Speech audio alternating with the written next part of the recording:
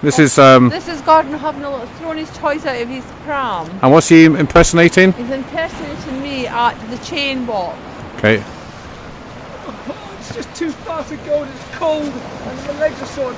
I can't go. I just I'm fucking. I'm not fucking doing it. I'm fucking not doing it. You did this on purpose. You always bring me to the worst places. I'm going home to the car.